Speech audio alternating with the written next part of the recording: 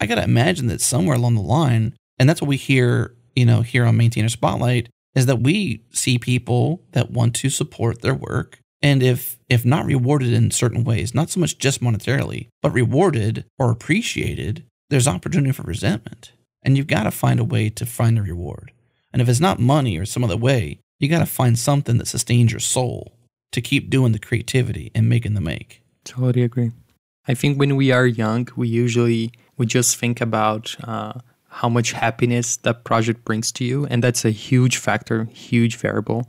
Uh, but yeah, as time goes by, like there are other priorities, other things you have to take care of, and if you can diversify your streams of income, right? Like, okay, I have my job, it's paying well, I'm happy, I don't want to leave my job at all. But if I can generate new streams of income with something that I love, man, why not?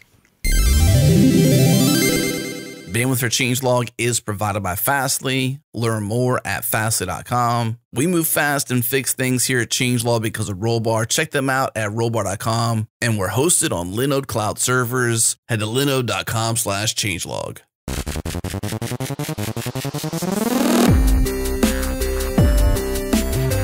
Welcome back, friends. This is the Changelog podcast featuring the hackers, the leaders, and the innovators of the software world. We have a great maintainer spotlight episode for you today. Zeno Rocha joined us to talk about his passion for open source and how he's changed his mind on making money with open source. We also talk about his big release of Dracula Pro and the future of Dracula, and of course, his new book, 14 Habits of Highly Productive Developers. Stay tuned to the end of the show for details on how to get your hands on a free copy of Zeno's book through our giveaway. This special flavor of the changelog called Maintainer Spotlight is co produced in partnership with our friends at TideLift. Check them out at tidelift.com. All right, let's do this.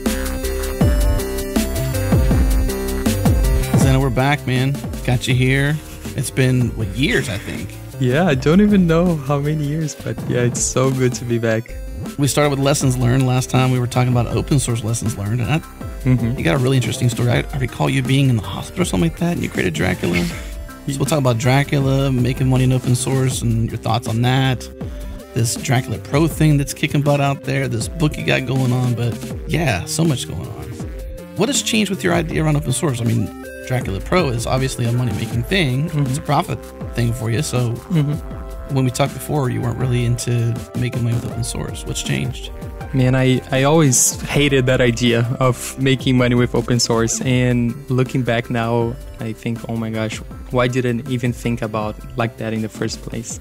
I think there's always this distinction of, oh, open source is like everything free and and that's it. And the opposite of that, it's okay, let's make money, let's sell. And I always hated salespeople, that sort of thing. And what changed was actually curiosity. I think that's the best way to describe it. Back in 2019, at my regular job, my nine to five, I wanted to learn more about sales, understand how the business worked. And I was like, yeah, I can read some books. I can try to figure out how the sales pipeline at my company works.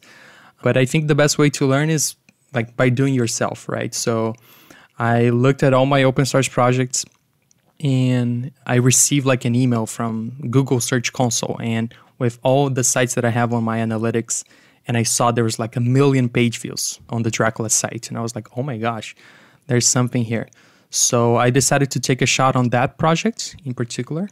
And that's how it all got started. Like, okay, I'm going to try this sales thing work. And if it works, great. If it doesn't, that's fine. Uh, I'm going to survive. Yeah, it was pretty much like that. Well, I think people have a misconception of what sales is. I think that's why people hate salespeople. Mm-hmm. There's some really bad ones out there. Yeah. Sales really is just a value exchange, right? Mm-hmm solving problems, helping people. And I think we get this sort of misconfiguration of what sales is, and we're like, ah, we don't want to be that icky person. Exactly. You know? Yeah, I think the stereotype of a salesperson is one who convinces you to purchase something that you don't want or need. Mm-hmm. And that is where the icky comes in because it's like, stop pushing this wares on me, man. You know, like I do not want mm-hmm. to drive this car home. I'm just here to waste an hour or whatever that the context is. Yeah. And so I absolutely understand that stereotype, but like Adam said, and that's the difference between like a good salesperson and a bad salesperson. A lot of times they'll say, "Hey, it's all about the product. Like, if I believe in the thing, it sells itself." Like the best salespeople are working on the things that sell themselves because that's how you have success in sales. You can't sell something that nobody wants or that you don't believe in. So Which makes sense for Dracula being, I guess, in quotes, easy transition free. We'll talk about the easiness of it, but a million page views to Dracula theme. Uh, was it draculatheme.com? I mean, people want it. that's pretty interesting. Is that in one month? Is that like for a year? What's the time frame?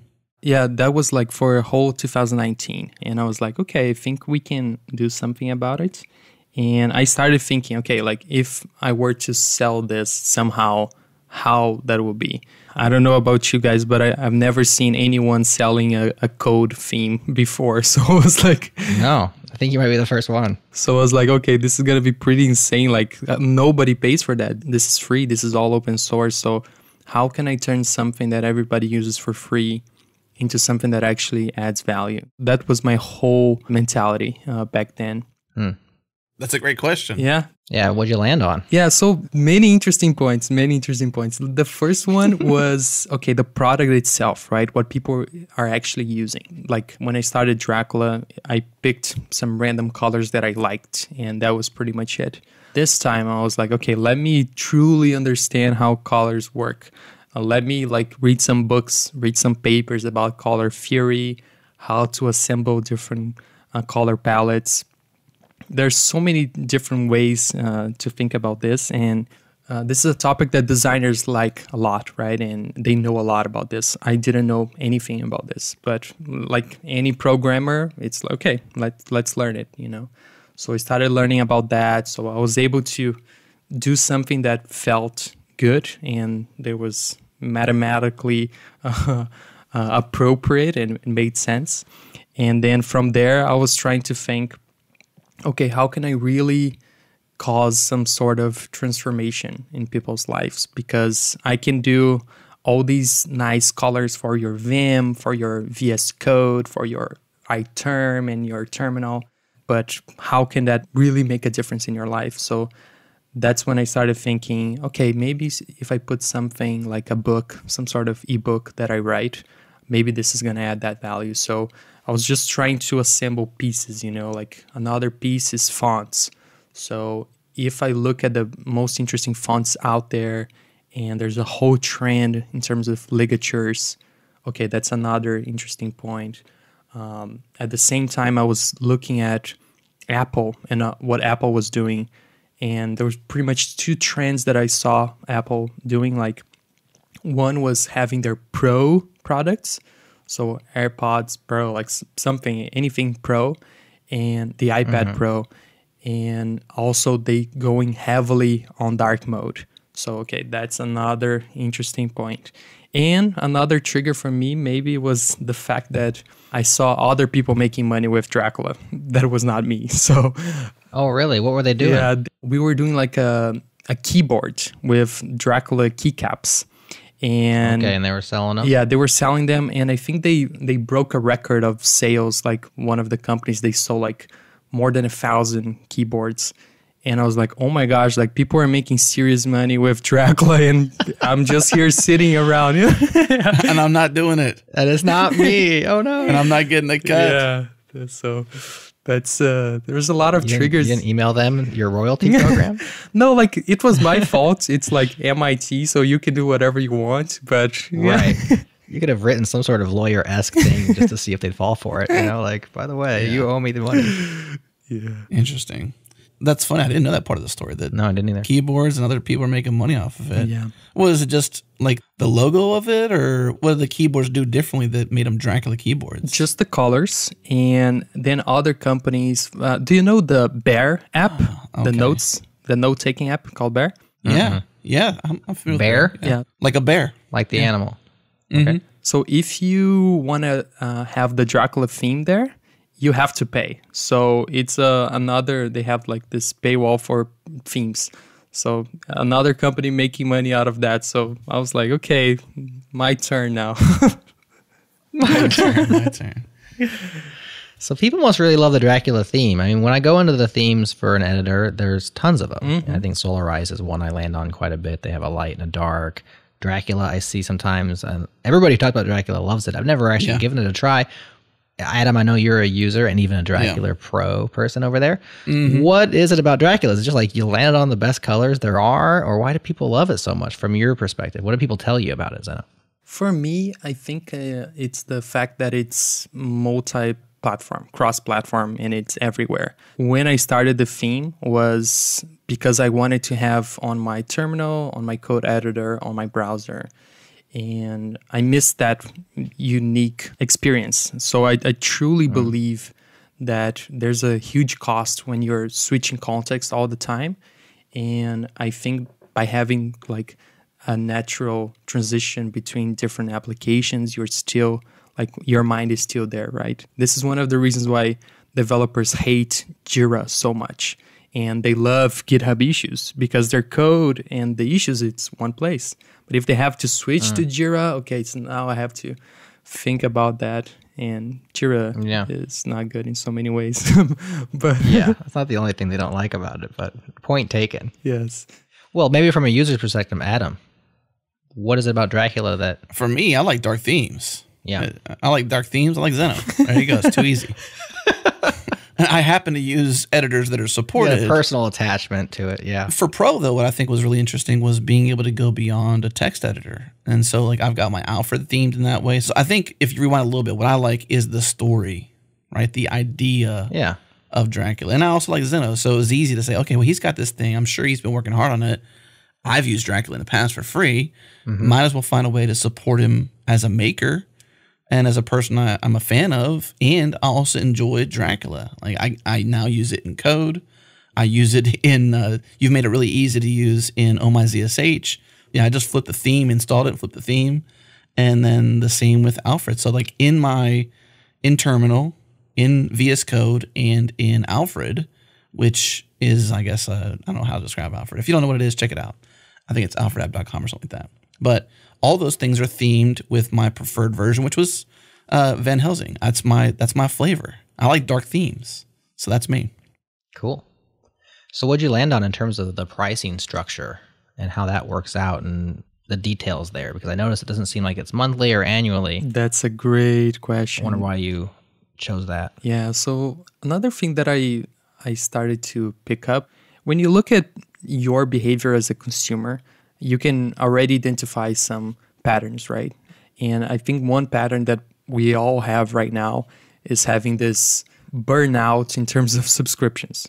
Uh, there's always a new subscription. There's always a monthly plan, and now we are all going to these budget apps so we can identify those missing subscriptions that we forgot. We're not using it anymore. Exactly. Yeah. Don't We're still paying it, but we don't use it. exactly. And I was like, okay, I don't want to do subscriptions, even though I think it's the best pricing model ever. I truly believe it. I didn't do it because I, I don't think it's good. I actually think it's the best, way better than what I, I landed. Mm. I wanted to give it a try. So I, I decided to set on a one time payment and see what will turn out from that. So I first thought about two different strategies. I said, okay, let me do one application for nine bucks, and I do 10 applications for 49 bucks. That was my, my whole idea. Because the reason why people use Dracula, besides being a nice dark theme and all that, it's because it's cross platform. So they will ended up going to the 49 just because it has all the apps. And if someone can't pay 49, then they just go for the 9. So I thought about that, and on the day before I launched, I was talking to some friends, and and he said, like, do you really think that the transformation that you want to cause on on people's life, it's gonna happen if you do the nine bucks? And what about the support of that? How much more support you need to provide? And do you think it justifies the nine bucks? And I thought a- lot about that, and I said, yeah, it doesn't. So I'm just gonna go with 49 and I know it's expensive. If you live in the US, it's already expensive. But if you live in other countries, it's like super expensive. And I said, yeah, uh, that's it. Like, if you can't pay, unfortunately, uh, that's totally fine. You can still use the free theme with more than 100 applications supported. So I landed on that, and uh, that was my goal. So when I launched in February uh, 11th, and I think in the, the first three days it already hit like I guess the first day was like already three thousand dollars, and then the first three days seven, and then the first like two months I think twenty thousand, and then right now I can actually check to see to give you the most accurate number. So from February 11th until now, which is like four months, or something like this, forty-six thousand and eight hundred and eighty dollars. So that was something completely crazy. Like when I see these numbers, I'm like, okay, there's probably something wrong. Maybe there's a bug on the system or something. yeah, who wrote this system? Right. But it's like it's something like Adam said something really really nice. I think people want to support makers, you know. Yeah. They truly believe that if I do my part and everybody does their part, everybody with a better product. So I think there's a, a big part of that too. Mm. Well, I wouldn't undercut the idea of story. I mean, who doesn't want to use the variant called Blade mm-hmm. or Morbius? You know what I mean? Like when you got Dracula, you don't just have Dracula. I saw there was a Buffy in there as well. Yeah, so There's, all- there's Blade, Buffy, Lincoln, Morbius, Van Helsing. and I think that's just super cool. Like you've wrapped this emotion, the story into it. And I think that's where people underplay the value of story. yeah. And even more so Baxter, like you personally, but then the story of what this is and mm-hmm. you know, the idea of the color concepts and stuff like that, you know, the the science behind some of these things mm-hmm. in terms of like geometric color palettes and you know, circle of hue and modern color theory. Like th- this is a lot of stuff you put a lot of real work into. Not that Dracula wasn't like the work was really the support of the different themes. As you had mm-hmm. said, you'd already just picked colors you liked, roll with it. Whereas here you've taken a more concerted effort towards color, themes, names, story, etc. And like there's clearly some value here. I mean, I wouldn't undercut that personally. Mm-hmm. So don't do that. Yeah. You, you put you put some work into Yeah. it. Yeah, for sure.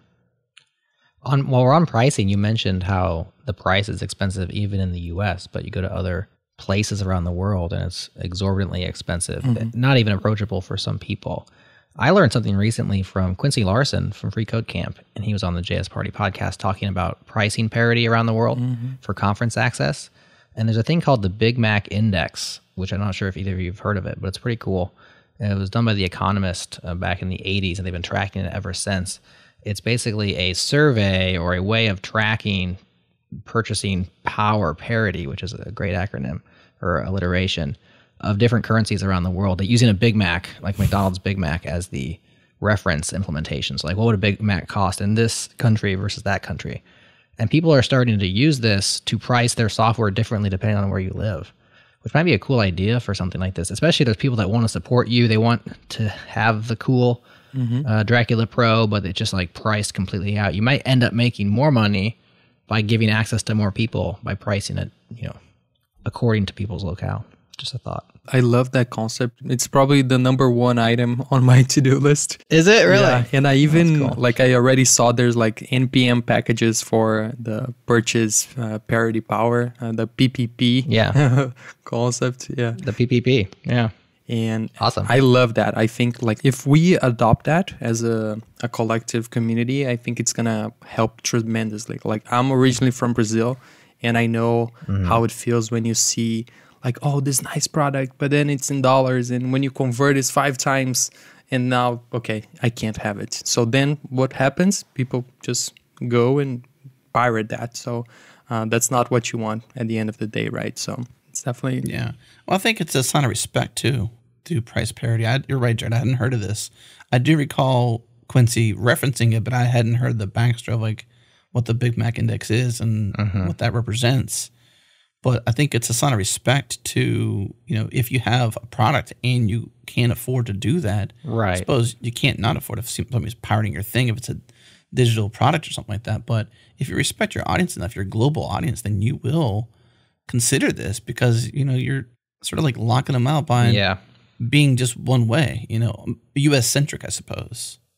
Exactly. So it's it's about inclusion. It's really empathy because you are just considering people that you aren't, you know, directly around or you're Yeah. you know, it's it's usually just uh, merely ignorance or lack of thought about other people that go leads us to this style pricing. Those who are in the US, we all are guilty of it in some way or the other. I think especially when it comes to conference access, especially these virtual conferences, mm-hmm. it's huge because the marginal cost of adding one more person to a virtual conference is pretty much zero, right? Mm-hmm. The bandwidth cost is it. And so your price with physical goods, it's harder because your cost of goods sold isn't going to go down because you're selling into that country. Like maybe if you can manufacture it there, there's all sorts of other concerns. But with virtual goods, marginal cost of zero, you're really just missing that sale if you look at it as a sale. Or and that person's missing their opportunity to access your conference or to use Dracula Pro, and they're going to turn to other means if they really want it. So, I think we're going to see more of it. I think it's a great thing. Well, this isn't a show about this topic in particular, but I'm curious, how do you do it though? How do you determine where they're at and then price them as you know appropriately? Like that's the hard part, probably, right? It's like translations. Well, I don't want to translate this into a language that seems like it's native because your IP says you're in Poland or something like that, and assume Yeah. you know I want other things to give me that that data. How do you, I, I suppose, do it in a way that's fair to you as well, and to not let people Right. Game you. you know rip you off? Yeah. We'll start seeing reverse VPNs. Like everybody's VPN Right. is so that they can watch Netflix Based from a country that's not the. United States. Now we'll be like, here, we'll give you the VPN where you locate from this country that has the lowest purchasing power. I guess there's always the honor system though. Yeah. And that's what a lot of people operate on. Yeah, I mean, they could select where they live. You know, especially in, I mean, people purchasing Dracula Pro or mm-hmm. attending a conference, like you just honor system. Where do you live? And if they're going to rip you off, then they're a jerk and they rip you off. Yeah.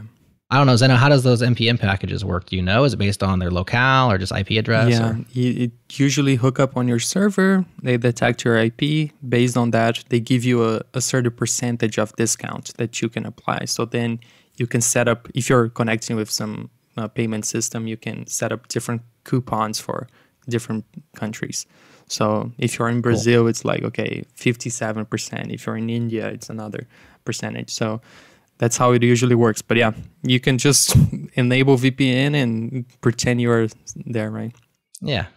Maybe going back into Dracula in particular. So when you went away from, and correct my language mm-hmm. if as necessary, but when you went away from, which you're not really going away from the open source, is Dracula Pro building upon the MIT license? How is this based on original code licensing? How did you mm-hmm. manage Yeah. being able to sell it and do what you do and license it? How's that work? Yeah, license is a very tricky subject, uh, and it's not something I'm a, a huge expert on, to be honest. I wanted to keep the open source version, and I still maintain it. I still improve it. Even today, I was reviewing a theme for Adminer. I don't know if you heard about this uh, database manager, but anyways. And for the pro version, I tried to do something around the number of computers that you're using. That was the the thing that felt the most appropriate. Uh, so you can use in three different computers for your personal use. If you use like you buy one copy and you share it with your whole company, that that's you're violating the license. But that's pretty much how it works. Yeah, licenses are tricky, and uh, it's a shame you have to be a lawyer or an expert to to use them properly. You know, I mean, I guess you don't have to be, but you might want to know a thing or two at least. That's true. So, do you consider Dracula Pro a finished product? Are you continually maintaining it? With subscription models, the idea is I continue to work on it. You continue to subscribe. Mm-hmm. Value exchange continues. Makes a lot of sense. Scales better for the maintainer, right? Mm-hmm. But if Dracula Pro is pretty much done, just sell license, you know, mm-hmm. just sell these licenses to it. It works out pretty well for everybody. Are you still like toiling away on it? No, yeah, there are a couple of ideas that I'm uh, working on. So, number one is the number of supported applications. So, on the open source version, that are 107, if I'm not mistaken. And on the pro version, it's only like 14 or 16, something like this. Uh, so I still have a long way to go to catch up with the open source. So I think there's a long road uh, over there.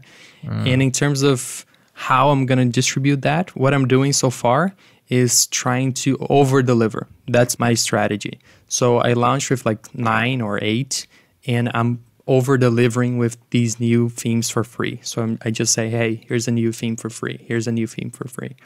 Uh, at some point, I might do like some sort of extension packages, you know, so like video games in the past where you buy version one and then I don't know if you play The Sims. So you buy The Sims and that's the game. Okay, Sims 2. Yeah, and then now you buy the Expansion packages. yeah, Yeah. the the Pets package. Like DLC. the other one.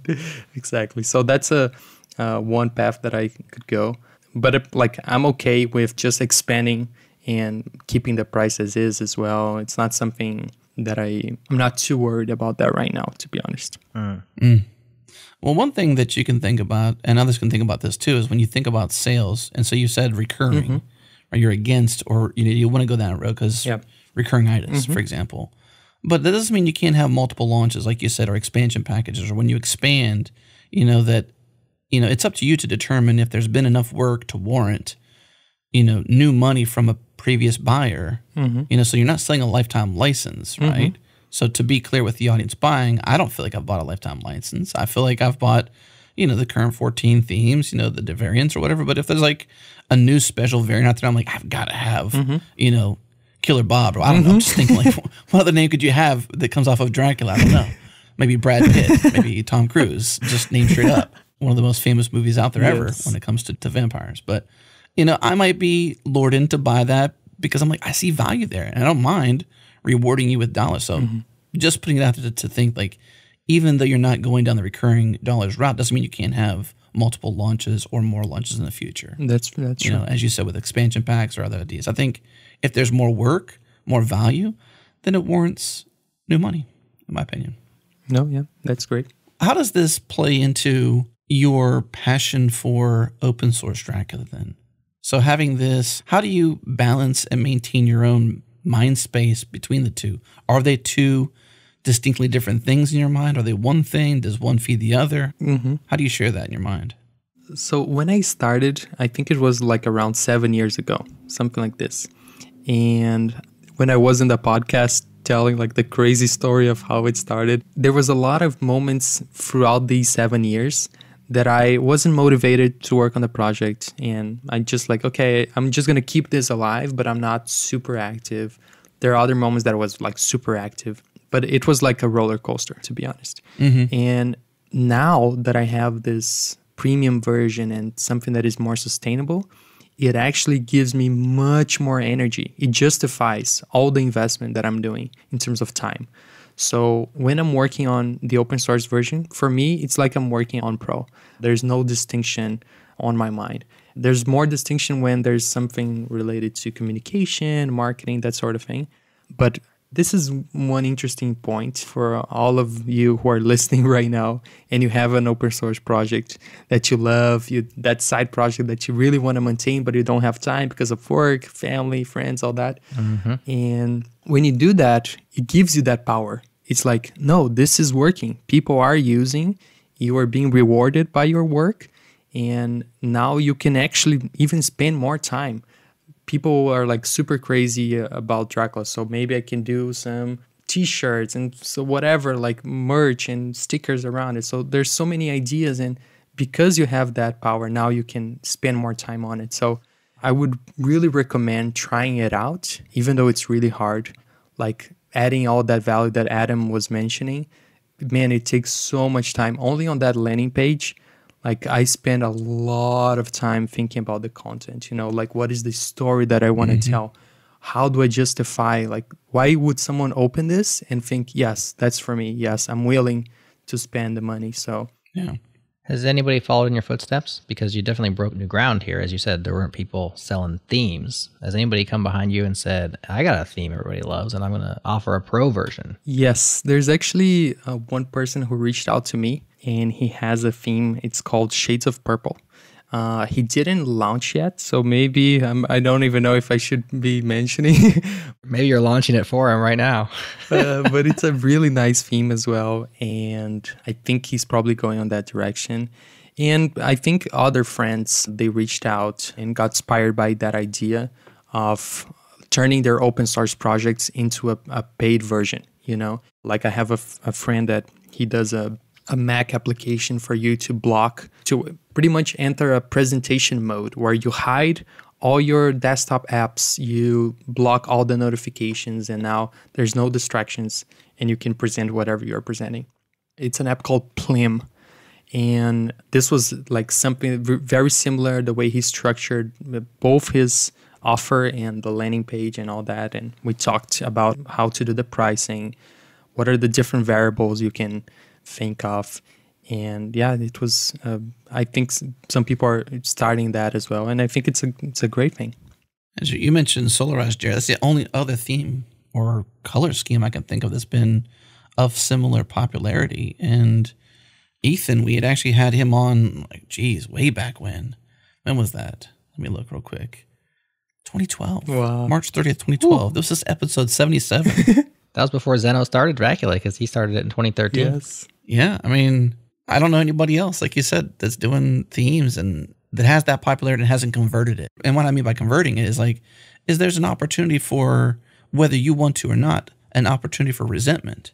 Like your time. I can just think of like how many hours Ethan must have poured into and still pours into Solarized. Not that he hasn't gotten value, and I have no idea what the full story is there. Mm-hmm. I'm not trying to speculate really or trying to assume, but just speculating is that I got to imagine that somewhere along the line, and that's what we hear, you know, here on Maintainer Spotlight, is that we see people that want to support their work. And if if not rewarded in certain ways, not so much just monetarily, but rewarded or appreciated, there's opportunity for resentment. And you've got to find a way to find a reward.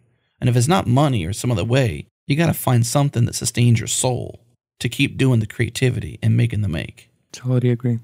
I think when we are young, we usually we just think about uh, how much happiness that project brings to you, and that's a huge factor, huge variable.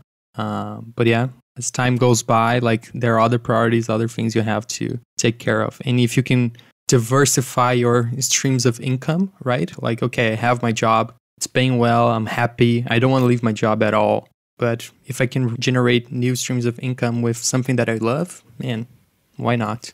Uh, one other thing that uh, you've got a seems like a small passion for. I can't tell. You've only included four, but in Dracula Pro, you got four handpicked typography options: Cascadia, Fira Code, JetBrains Mono, and Victor Mono. Now I'm only really familiar with Fira Code because hey, we have a maintainer spotlight coming out pretty soon mm-hmm. uh, with Nikita on that subject. It's on the feed now as this one goes out. That one will be the previous maintainer spotlight with Tonsky.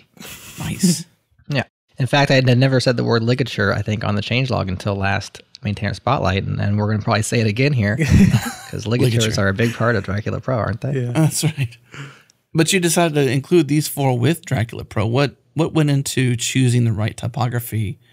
And side note, anything you want to share about Fira Code? Yeah. So I think you like that a lot. Yeah, no, I love Fira Code. It's actually the font that is being used on, on the site.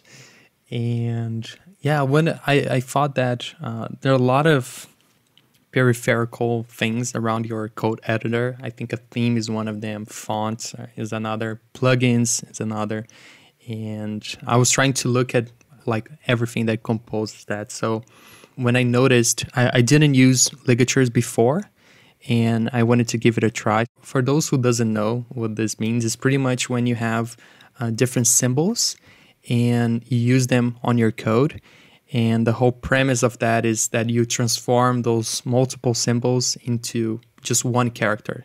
So, for example, if you want to do equals equals, instead of putting two equals as two characters, it combines as one character. So when you're reading your code, it's easier. That's the whole point. Uh, it's easier for you to scan, right? Of course, it depends from person to person. Some people hate ligatures, some people love it, can live without it. So it's definitely a love hate thing. There's some people who love it, some people who hate it, some people are against it. We debated that quite a bit on that show too. We're like, eh, I mean, yeah.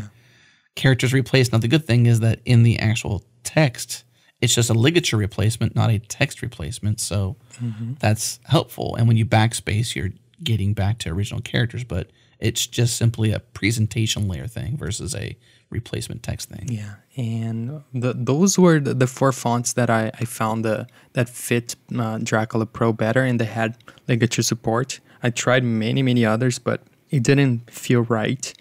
And also, like I'm really passionate about fonts. So maybe one day we can have some Dracula mono or something like this. Uh, I would love to collaborate Mm. on a font for Dracula. I think it would be really awesome.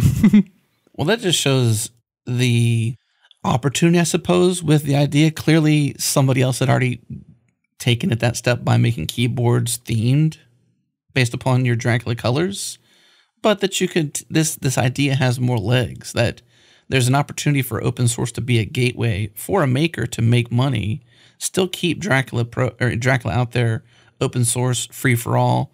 Maybe potentially share a variant or somehow eventually merge the two somehow to have a free version and like a paid version. I'm just saying like there's a lot of opportunity to like really take this and like you know establishing a Dracula code typography or you know font face out there would be super cool. It's just one more way you can like extend this super cool idea. Mm-hmm. Yeah, I would love that, man. Like I can't even imagine like seeing the the drop down when you select fonts and then seeing like a Dracula mono there. Oh my gosh. I that'll be amazing.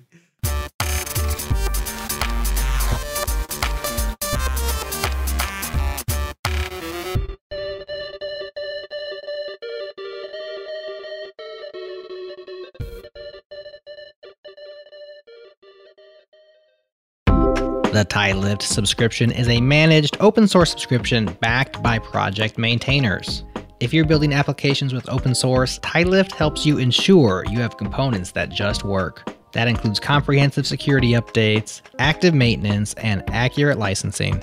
Tidelift helps you speed up your development, save money, and reduce risk when building apps with open source. And the best part of all, with the Tidelift subscription, you help open source maintainers like Nikita get paid for their work. Learn more and get a demo today at Tidelift.com.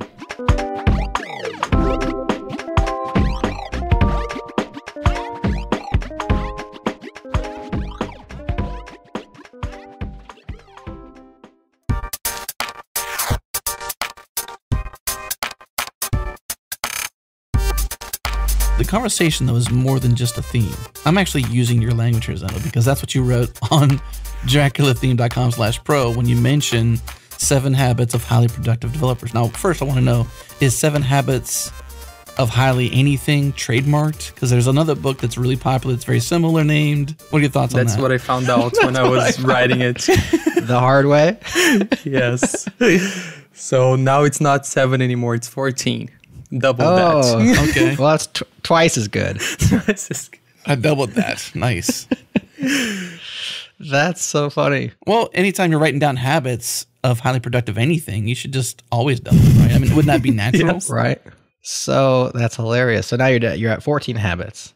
Yes. When I was doing the pro, that that's what I, I realized, right? Like, okay, I can give you the best theme in the world, the best fonts in the world, and the best code editor in the world. But even if you have all that, but you don't cultivate the right habits, then it's all for nothing, right? So that's where this whole book idea came up. But when I put this out there, I said, yeah, I'm going to put together an ebook. It's going to be uh, nice, and, and that's it. But yeah, I had no idea what I was getting into. No idea. so, fast forward three months later, it's been crazy three months. I have been working super hard on that. And it's, yeah, now it's it's out there. How many words per day? What's how do you gauge? I guess daily success, uh, chipping away at the block. How do you, how do you gauge it? So I think lots of people they they think about the word as the the objective, right? So if I hit ten thousand words, I don't know what what is the the point. Then now I will have a book. I didn't think about that at all. I'm like, okay, I'm gonna try to put together all these things that I learned throughout my career, working with lots of good people, and let's see how it goes, right? If at the end of the day it's a 30 pages book, okay, that's it. If it's 100 or 200, that's it as well. So that's where my mentality is. But yeah, like writing a book is a very different beast, like from programming. But still, when I started this, my mentality was okay, I built open source projects before, I built paid products before. I know how to ship things and like sit down and do the work. So I will do the same for books. And even if it's a different type of work, I'm just going to put a lot of effort consistently and, and mm-hmm. hopefully it will be out there. And yeah, and now it's it's ready. Did you know you had the book in you though? I mean, it's one thing to sit down and do the work and have a discipline. It's another to actually have the book in you. Yeah, I think so. Like, I'm not doubting you. I'm just wondering, like, how do you know? How do you have that assurance? Which you only have 11 habits. You know? yeah. the last yeah, three. so I could have done seven, but I can't quite get to 14. I, I was actually, you know, how I did it. I'm, I'm going to tell you how I got the 14. Okay. I first searched for 8habits.com. That was taken. 9habits.com. That was taken. 10 habits. That was free. But it was like $5,000 to buy the domain. Okay. So that, that's too not much. an option. 11, 12 taken or too pricey. And then 14 was free. Okay, 14 it is. so that's what. wow, that's, I love that. Yeah. About backing into your, yeah, to your topic size. So you're like, well, I'm going to have to come with 14 in one way or the other. Yes. And I was writing and there were certain topics that were already on my mind. Like, I think one that we can all relate as software engineers is how difficult it is to pick what you should learn, right? We are bombarded with tweets and messages, everything like everybody telling you, you should use this technology, you should use that one, use that framework. Oh, React is much better than Angular, Flutter is much better than React Native. Everybody always telling you what you should do, right? And I feel like that since I started using jQuery. There was always a new framework better. There's always a new library that is better. I, I try to combine all, all these things that I was noticing on the market or working on, on the day to day and things from my personal life as well. I think by now I gave more like than a hundred presentations. So, and I know how that was amazing for me personally as a human being, you know, like putting yourself out there like talking to you right now. This is super hard. It's not easy to be out in the public and just like opening your heart and tell all the things you feel. And uh, it's a very difficult thing, especially for programmers. We are all introspective. We have to deal with that. So uh, I try to put that like, okay, if you teach things, it's gonna help you. It's not gonna only help the person who's listening, but it's gonna help you much more at the end of the day. So trying to combine all these lessons was how I I ended up with, with those uh, 14 habits. 14habits.com is super cool. I'd love to find out there's some science, some actual science around like okay, habit creation, which we'll we'll do some investigation. We have a show called Brain Science. We'll actually do a little investigation to this hypothesis, but it'd be cool if there was some science to say learning 14 habits is easier than learning 10 because like that'd be cool right? Like because habit loops and creation is one thing and there's insane science behind it. Mm-hmm. but like for some reason numbers they play into mm-hmm. habits and we're you know the whole world is mathematical. I mean it's it's all math and physics and stuff and it's like it's intense. But if there's some reason why learning 14 is somehow easier than 10 or maybe even 7 hey Nothing on Stephen Covey or anything, but uh, you know, maybe it's easier to do 14 versus 7 or 10. I don't know. Buy seven, get seven free, it sounds like. That's right. I did hear it takes 21 days to make a habit. Was that on Brain Science or did I hear, read that somewhere else? Can't remember if Mireille said that. That's a known ism. I don't know. Is I'm sure true? definitely. I don't know. Yeah. I don't know yeah. that. I'll have to research that too. I was gonna say because you could have done 21 habits in 21 days. Maybe for your next books, I know. There's definitely something with like the three week factor. It's like 30 days, three weeks, that time frame. But we'll get Mireille to do some research and, and, confirm. We might even do a show. Is this true or not? Yeah, we'll Mythbusters. But yeah, that'd be that'd be cool. Mythbusters in in, in regards to brain, brain science, science Mythbusters. Yeah, pop psychology stuff. So pick a few of your favorite habits here. We'll uh, we'll unpack them for the audience because surely some of these chapters probably flowed out of you as if they had already existed, and other ones you have to like chip away at. What are your top habits from the book that we can discuss?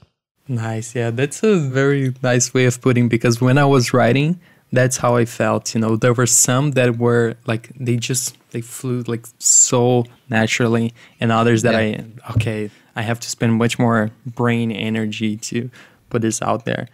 I think there's one that I kind of touched a little bit on, on this, mm-hmm. and it's around the like knowing the business side, right? So I think when we first start as programmers, we we think like this that uh, the sales side is bad, and it's hard to like sympathize with salespeople because all they want inside the, the organization is to sell right at any cost. So if that means adding a new feature, if that means promising some new epic to include on the roadmap, uh, then that's it, and we have to comply, and, and that's all. And they they don't care about our code. So as developers, we're like super protective over the quality of our code and those people they are the opposite right it's like i don't care about the quality of the code unless it sells and that's it so uh, i wrote one that is called master the dark side and where i make this comparison between oh. the light side being okay the engineering part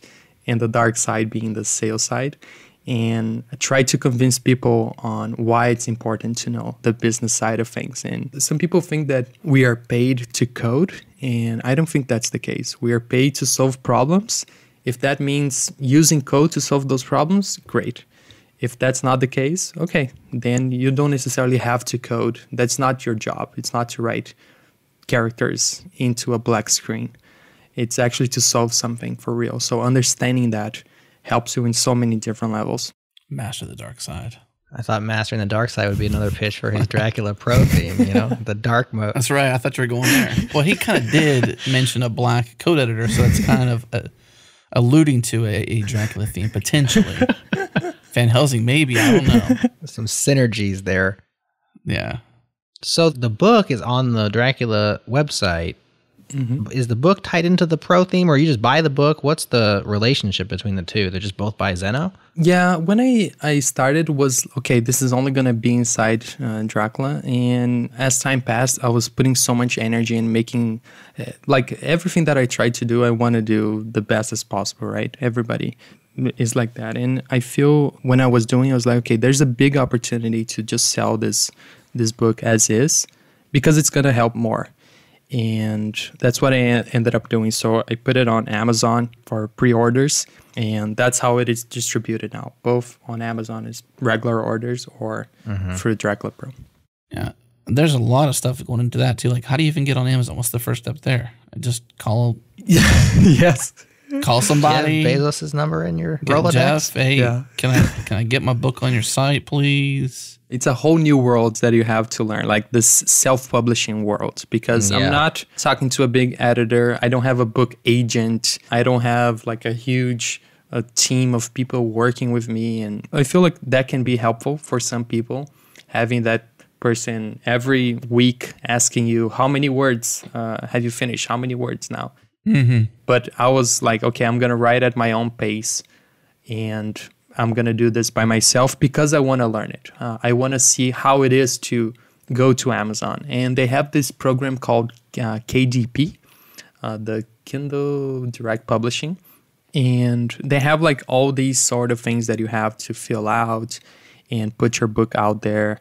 And then there's this whole thing of identifying a book, the ISBN that you have to pay, and you get this unique number and you can pay like for 10 unique numbers at once or just one.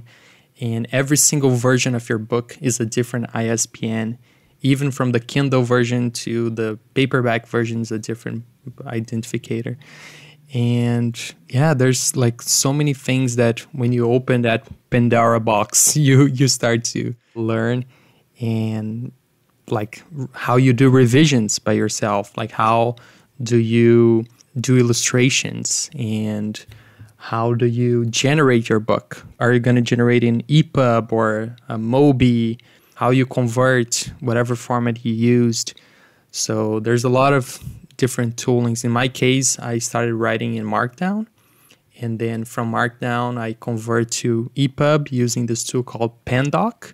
And then when I send to Kindle, they convert from EPUB to Mobi. So it's a whole new world that you have to learn.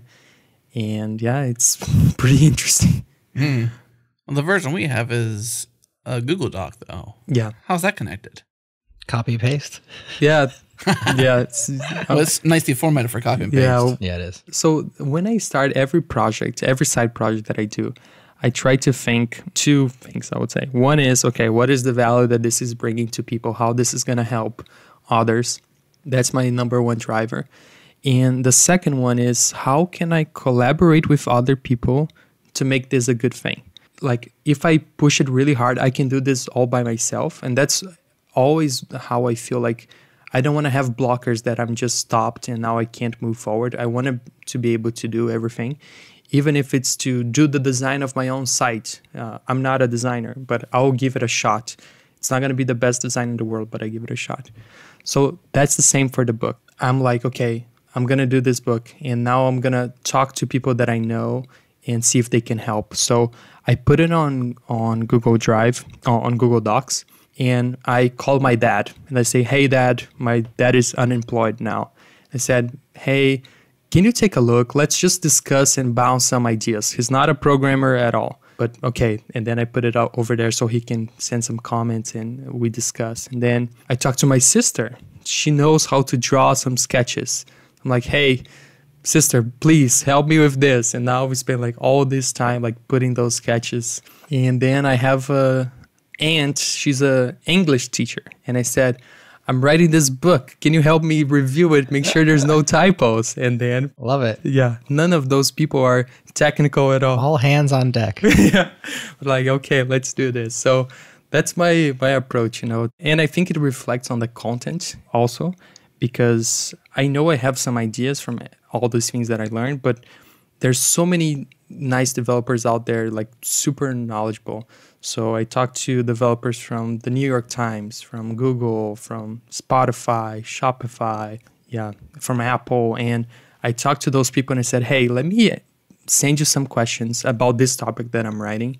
Give me your ideas, and I'm gonna format them, put it on the book." So that's another thing that you'll see, like how there's a one writing style and it talks about all these topics, but then there's this complement uh, on top of that idea.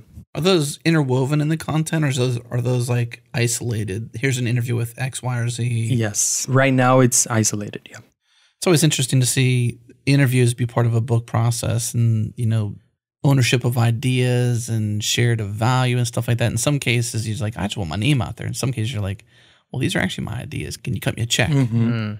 Anybody say, hey, cut me a check, Zeno? Or they're just like, not yet. here's my ideas for free. Not yet. Yeah. Yeah. Not yet. No one thought about Maybe it. after this podcast. I guess the top sellers list. yeah. yeah. Interesting. Well, let's hit one more habit.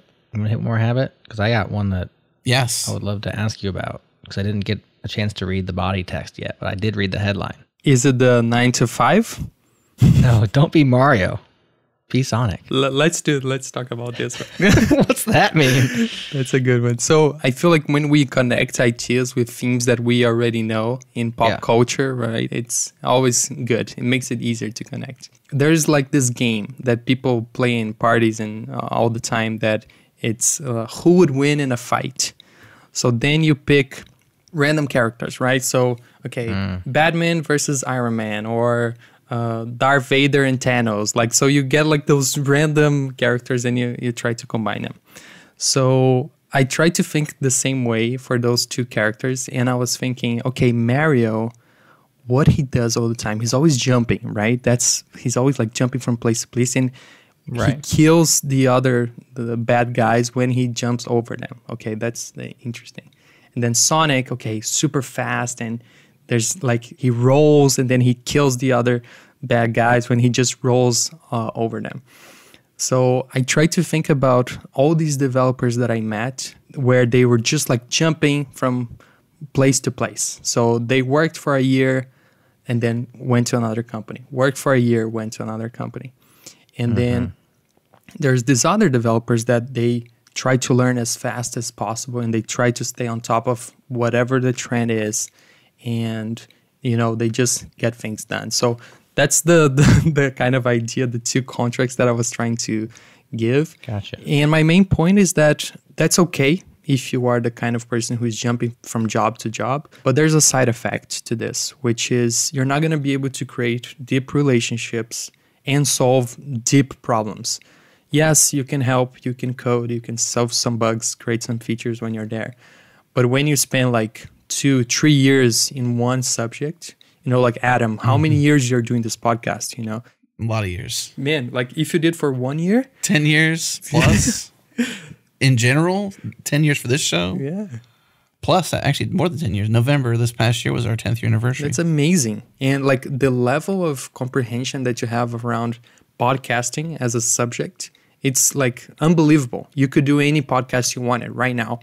Uh, and that's because you spend a lot of time doing that. So that's how I also believe that people, when they're switching jobs very often, there's usually something connected to that where they're trying to fulfill some sort of need uh, that they're not having. And that's not to say that, okay, if you s- stay on the same job for 20 years, you're doing the good thing. I also don't think that's the case, right? You're probably just Yeah. staying there. You're in your comfort zone. You don't want to step out. You're afraid of doing an interview, being rejected. So I feel like there's this parallel between Mario and Sonic, and that's what I, I mm-hmm. try to put out there. we had similar, not same, but similar conversations recently with Ryan Singer on episode 399, Shipping Work That Matters, here on the Change Log. And then also back a little bit, I'm trying to remember the title. Did we ship that show yet? yeah, one thing that every dev should know. yeah, with Gosh. Jessica Kerr, I was thinking about that as well. Knowledge transfer is a big problem. right? knowledge transfer, story, depth. You know, I don't know if it made on the show, Jared, but I know you and I actually talked about our rough idea of what longitudinal meant and Ryan's version of it and what we thought of it. I think originally was different, but Yeah. just this idea that you know the kind of problems Ryan has solved design wise for Basecamp, Ryan Singer for Basecamp, mm-hmm.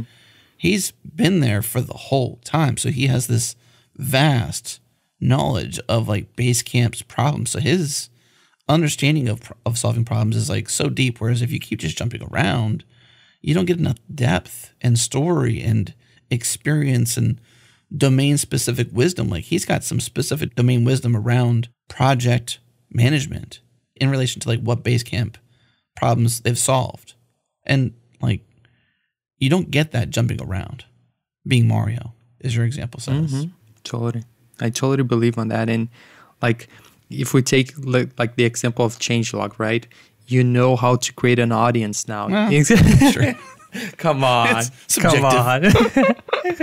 we, like that- we like to think so. we invite Zenos on, we invite Ryan Singers on. I'm just kidding. Uh, yeah. That's part of our stick. But yeah, and like, you know, that's so much. And you know, this niche. Mostly we know what stuff doesn't work, Yes. that's true. Yeah. which is knowledge. Mm-hmm. yeah, that's true. But that doesn't mean we know what does work. yeah. Yeah.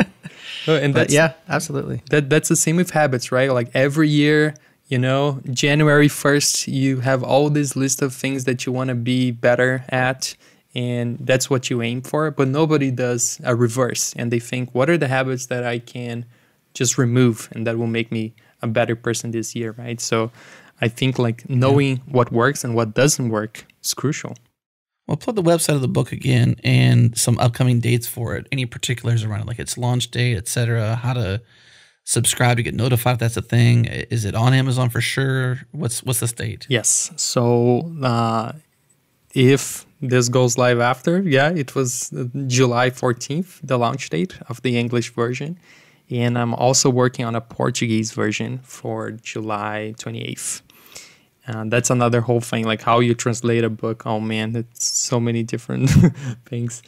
I yeah, yeah, and it's uh, for now exclusively on Amazon. I'm still thinking maybe put in other platforms, but I think I'm gonna try to stick with that. Uh, I think last week I saw a new version of the Pragmatic Programmer. Remember this book? And they launched like the 20th edition of that book, and that really got me thinking because I've been selling like Dracula as an individual, independent indie hacker, right? That's uh, what I'm doing. And I have to do all the marketing myself. I have to get the audience to that point myself. And I thought about doing the same with the book. I'm just going to put on Gumroad, sell it over there. But for how long can I maintain the audience to keep going there? And when I saw that book launching the 20th edition, I was like, man, like they were able to keep like 20 years this thing up and it's unbelievable it's still a super relevant subject and they were able to distribute that throughout 20 years so that's what i'm uh, why i'm picking amazon for now and i will try to stick with that and see how that works i, I did the whole individual thing. Now let me do the whole platform uh, and marketplace thing. Let's see which Right. one is better. Gotcha. So 14habits.com releases on the 14th of July. Would make sense because there's 14 habits. I don't know if that's is that for a reason. Is that just by Exactly. coincidence? Okay. I love it. And July is Um, the seventh month. so Oh, 714. Stick it to the copyright. Oh man, Steven's coming after you. Hang on now. Hang on now. Decode Uh, your dig. Congrats though. I mean, Yeah, man. One, I got one more question for you, but I want to give you a congrats. Like to do all this work, to come not just from simply a, an open source project, but to, ha- to have a bigger idea. And I think that's what I want to do with this show, what we do here, but like in particular with brain science, we want people to think differently about the problems they face and decisions they make and the way they perceive the world and the way they their mental framework. And I think that's what you've done here is you've changed your mindset towards one, open source, and then two, just like how you can sustain and, and be happy. Like working with your dad and your sister and your family must be a joy for you for one, but then two, to have the extra help but to really enjoy what you do, which is super cool. When it comes back to, let's say, open source, you've had a change of heart. Give some closing advice to those out there in open source that can maybe take a grain of salt from what you've done here. Some advice going away of like, you know what, if you're stuck here and you're not sustaining, here's some ways to think about it in terms of like just open source, not having to be just free, but finding a way to be rewarded by doing so. Yeah. Usually there's some things that we do and we think when we do open source. And number one is like you want to carry that flag, the open source flag. This is open. This is something everybody can look at the source code, and that's amazing. I love that flag. I want to carry that flag with me as well throughout my whole life. I love that format. But I, I would suggest people to also think about the underlying goal. You know, if you're putting something out there, it's because you want to help someone, right? You want to, someone to grab that code, make it better, put on their own applications, and then solve a problem themselves. And you can do that with a paid product as well yes, there's a lot of work. You have to do support, you have to do marketing. If you do that all by yourself, it's really challenging. You have to wear lots of hats, but you learn so much uh, by doing that. And I feel that's something that uh, people should take away and just like, okay, don't give up. You know, the, the first project that you launch, nobody will care. The second one, nobody will care. The third one, now you know a little bit, maybe a hundred people will care and then you go from there you know but not giving up and i think there's so much that you learn by doing a side project you know? There's a ceiling to what the the opportunities and the technology that your company can provide to you. And when you spend like maybe like 15 minutes out of your day you don't have to like sleep at 4 a.m you know? Just spend 15 minutes one day 15 minutes other day. Try to do something by yourself. I think it's a great lesson. And like, take from this podcast, you know, I love what you guys are doing. You're doing for like more than 10 years. It's unbelievable. And the value that you brought to so many people, like, you transformed so many different careers, right? So, if you take from that uh, example as well, bring to your own life, okay, how can I transform my career and my personal views as something that is going to inspire others? you know if you can do that you know what's better than that you know so yeah Thank you. Thank you for saying that. We appreciate that. We appreciate having you on the show. Yep. We appreciate all the work you put into this uh, this theme that I love and paid for. uh, this book that I will will read when I get the the final copy of it, which I will pay for. and uh, I'm not. We don't get anything for free around here. Just, just to be very clear. on that, which I will pay for. No, no, no, no. well, to be very clear, that I mentioned that we got a pre Right, right, right, version of it. No. We will pay for it. Is the point. We support people doing awesome stuff like Zeno. That's right. That's right. But uh, great words of wisdom, Zeno. Thank you so much for sharing your time. It's been awesome. Thank you. thank you guys thank you everyone Good job hanging in there for the whole show. All the details to win a free copy of Dracula Pro and Zeno's book can be found in the show notes. Look for a link to our blog post explaining all the methods of entry, and good luck to you. If you just want to give a shout out to Zeno and all the work he's done in open source, all the hard work he's put into Dracula, Dracula Pro, and every other thing he's done in open source, you can do so at changelog.com slash 405. This is episode 405, and that method is allowed. And of course, huge thanks to our friends at Tidelift for co-producing Maintainer Spotlight with us. Also, huge thanks to our partners who get it, Linode, Fastly, and Rollbar. We also have to thank Breakmaster Cylinder for making all of our awesome beats. Thanks to you for listening to the show. We appreciate you. Listen to all of our shows via the master feed, changelog.com slash master, or search for Changelog Master in your favorite podcast app and subscribe. You'll find us. Thanks again for tuning in this week. We'll see you next week.